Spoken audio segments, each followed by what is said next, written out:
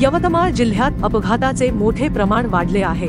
अशातच वाहतूक विभागाच्या दुर्लक्षित धोरणामुळे यवतमाळच्या घाटंजी तालुक्यात अवैध वाहतुकीने कळस गाठला आहे.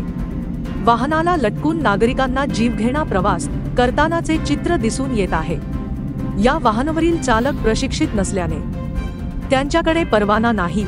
घाटंजी तालुक्यातील गावात अवैध वाहतूक सुरू असताना घाटंजी पोलीस कोणत्याही प्रकारची कारवाई करताना दिसत नाही. त्यामुळे नागरिक संताप व्यक्त करीत आहे.